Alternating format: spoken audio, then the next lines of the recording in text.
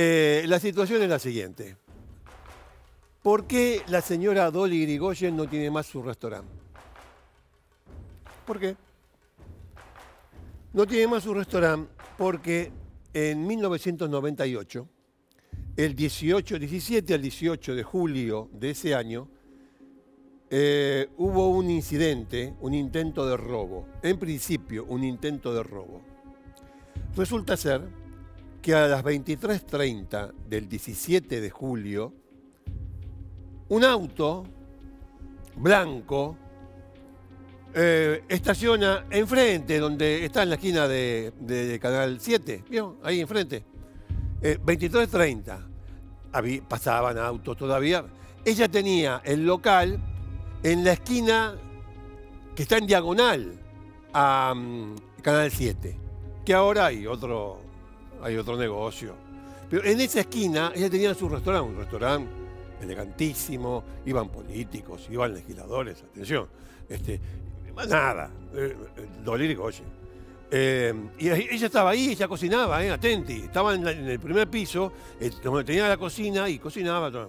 Bueno, se para un, Renault este, eh, blanco en, diagonal. Cuatro tipos, cuatro tipos.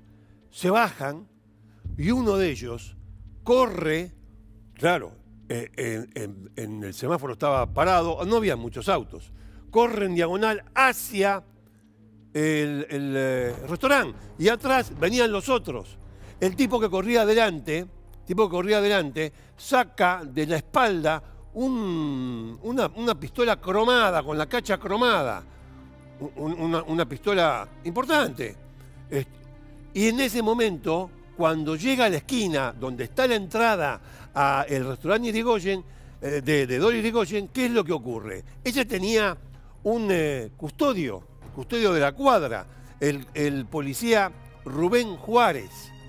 Juárez cuando escucha a gente correr, que se acerca, él estaba caminando en el lado contrario, se da vuelta, viene a enfrentarlos y ahí le meten un tiro, el tipo, ladrón, le mete un tiro al policía de custodia, el policía de custodia cae muerto. Una conmoción tremenda porque todo esto en el restaurante tuvo su consecuencia. Este, eh, eh, los ladrones no entraron al restaurante, volvieron al auto y se fueron. Dolly, que estaba en el primer piso, como le decía antes, al escuchar los ruidos debajo y obviamente el tiro y todo eso, baja eh, y ve en la calle que está el policía de custodia, estaba Juárez de custodia, tapado con un mantel de su restaurante y a las mozas, a los empleados, empleados este, horrorizados por lo que había ocurrido. No era la primera vez que le robaban a Dolly. Eh, basta, al mes cerró. Al mes cerró y se fue.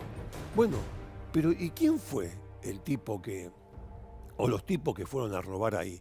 Fueron a robar, pues sabe una cosa, Dolly Rigoyen siempre sospechó que eso no era un robo, sino que iban a apretar a alguien. Pero bueno, una, es una creencia de ella. El asunto es que se empezó a investigar como un robo. Y resulta ser que a pocas cuadras, eh, dos días después, una cámara de seguridad de una estación de servicio capta el mismo auto. Y también capta cuatro personas en el auto. Salen las cuatro personas mientras cargan nafta, dos días después, ¿eh? Y entonces las cámaras lo captan. Claro, intervenía el juez Alberto Baños en, la investigación de ese robo y homicidio del policía. Un juez de instrucción de la capital federal, Alberto Baños. Bueno, eh, la, cámara de, la cámara de seguridad. Los van sacando a cada uno de ellos, menos a uno. Dice, este, este, este es Alejandro Núñez. Pero Alejandro Núñez, a ver, pero Alejandro Núñez no puede estar ahí. ¿Cómo no puede estar ahí? No, si está preso. ¿Dónde? En Caseros. ¿Qué hace ahí? Y este otro, ese otro que... Eh, eh, eh, el otro es Maximiliano. Este, Maximiliano. Este Maximiliano Noguera se había escapado de la cárcel hace unos meses. Y este otro, Maini, te apellido, pero Maini tiene que estar durmiendo en Caseros, no puede estar ahí. ¿Cómo va a estar ahí? ¿Qué se escaparon? No avisaron nada. Y el, y el cuarto, no, el cuarto no lo conocemos. Bueno, van al servicio penitenciario, qué sé yo. Y ahí Alberto Baño descubre que había una mafia en el servicio penitenciario que cobraba entre mil y tres mil pesos para hacer que los chorros, los delincuentes, salgan a robar y después cuando volvían le rendían el producto de robo a ellos. Se lo daban a los guardiacárceles infieles, corruptos, delincuentes. Había una mafia en Caseros que hacía salir a los presos para ir a robar. De hecho, el 17 de julio del año 98, antes de que fueran al restaurante Dolly, los tipos habían robado el auto a un señor, le habían robado el auto, obviamente no, se lo habían proveído, habían robado el auto, con el auto fueron a una, casa de familia, roban en la casa de familia y se llevan eh, esa pistola con la cacha cromada, se la llevan de la casa de familia, y entonces cuando venían por Libertador, eh, por Figueroa Alcorta, este, fueron a lo de Dolly y pasó lo que les dije recién. Pero escuchemos una cosa, esta gente tiene que estar presa y al final de cuentas eh, estaba en libertad. Y Núñez contó cómo era el procedimiento para que los dejaran libres. Le dijo, a mí me dijeron que salga con Maini y que vaya a tal lugar que ahí me iba a encontrar con mi amigo Noguera, que estaba prófugo, y con otro más. Ese otro más tenía, le decían el sapo, el sapo. Tenía una matraca, tenía un fal, justamente en la esquina de Dolly había tirado, se había, había, caído un cargador de fal. El tipo, en, el, ida y vuelta, después de matar al policía, se le cayó el cargador del fal. Van a la numeración y resulta que tiene que ver con el fal este, de, de, este tipo del sapo. Y bueno, pero ¿cómo se dan cuenta que corresponde el cargador a, a ese FAL? Porque el FAL pertenece al servicio penitenciario salieron a robar con armas del servicio penitenciario. Entonces, ¿el sapo es un penitenciario? Sí. El sapo un penitenciario. Tres chorros y un penitenciario salieron a robar. Bueno, la situación iba avanzando, avanzando, avanzando, hasta que eh, se aparece, en lo del juez Baño que estaba investigando, se aparece, eh, pide hablar con él este, un señor eh, una persona. Dice, bueno, como un, preso. Como, como, el preso no, era, no, estaba a disposición de baños, baño lo tiene ahí, no le da mucha bolilla. En eso resulta que recibe en su casa Baños, el juez que investigaba este asunto de los ladrones que salían a robar y que habían ido al restaurante Dolly y habían matado a un policía. Eh, recibe en su casa un paquete. Un paquete. Eh, doctor, recibió un paquete, qué sé yo, le dicen ahí en la casa. El tipo abre el paquete, el juez Baños, ¿eh? Y dentro, del, en, el, envoltorio, ¿qué había? Esto había. Un ataúd de madera. Un pequeño ataúd de madera.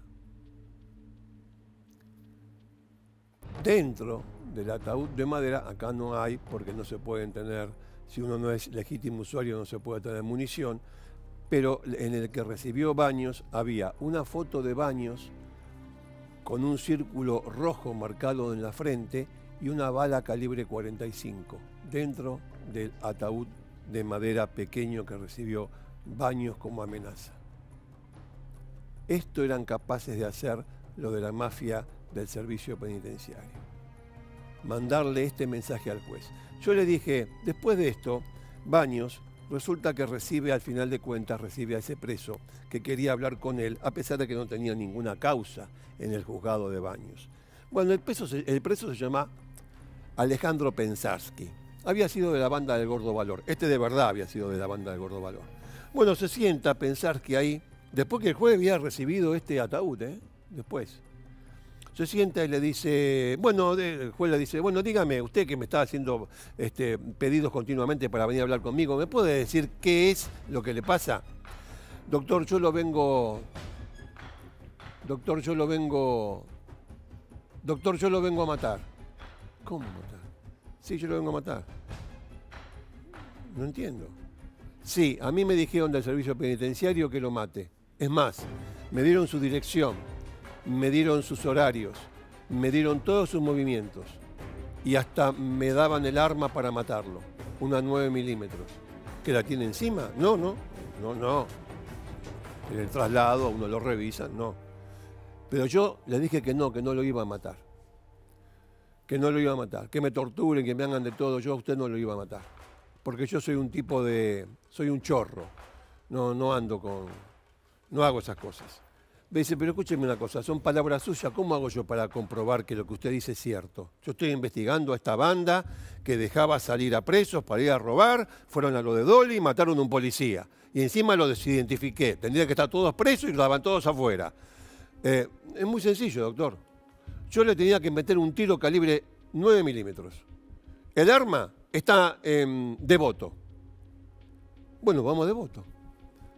Allanaron devoto fue pensar que con el juez y pensar que le dice, ¿sabe dónde está el arma? Vamos hasta el pabellón.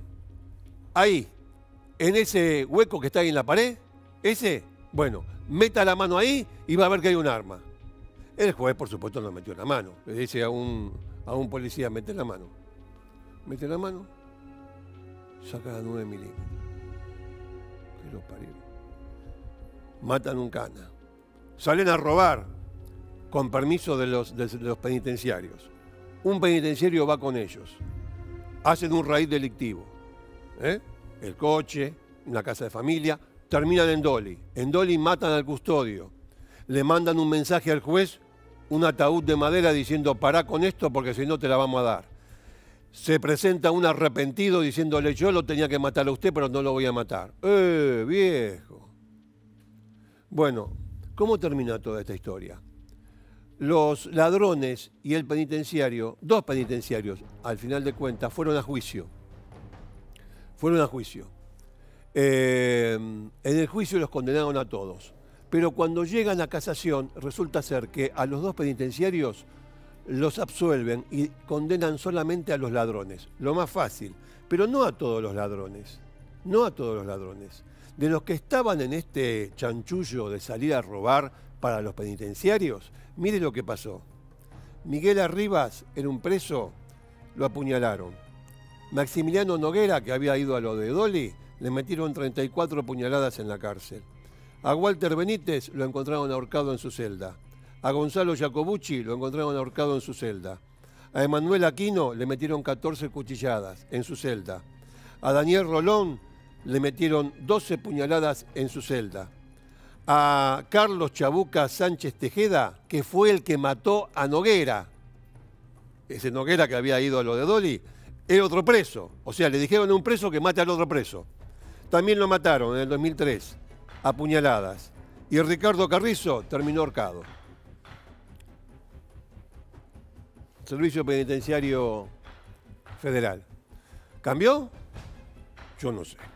Bueno, esta fue la historia del sillón del día de hoy. Vamos a poner nuevamente a encender las luces del estudio. Ahí está. Apagamos acá. Ustedes. No, no, ustedes vieron. la culpa es tuya, la culpa es tuya. Vos te agarras la cabeza, te querés hacer el. Ahí está, listo. Señores, después de todo esto, vamos a una pausa, ya volvemos.